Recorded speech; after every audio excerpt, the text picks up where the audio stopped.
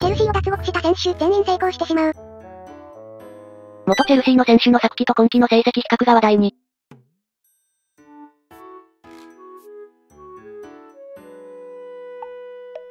私はチェルシーの大ファンです。しかし悲しいことに私たちは選手をどのように活用するか、また彼らを辛抱強く起用するということを知らないのです。長年サポーターをやってきたが昨シーズンは私の人生で最悪のシーズンだった。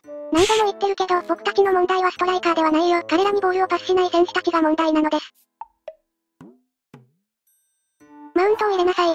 マンチェスターユナイテッドへの移籍はプリズンからプリズンへ移動したようなものだ。マウントちょっとかわいそう。いくらチェルシーが調子悪かったとしても出場できてなかったから移籍したわけだし、移籍金も残したのにあんな言われるのか。ちなみに今季チェルシー攻撃陣の成績がこちら、実は絶好調。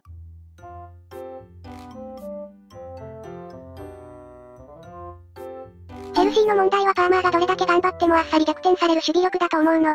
どう考えても今季のチェルシーは守備がガバガバすぎる。このペースでいくとポッターの時より倍くらい点取ってるはずなのにほとんど順位変わらん。ペップほどのビルドアップは要求しないから、せめて守備だけは改善してくれないと続投すら許せなくなっちゃう。勝ち越す、守備固めや失点、ユナイテッドとチェルシー運命共同体。毎試合パーマーが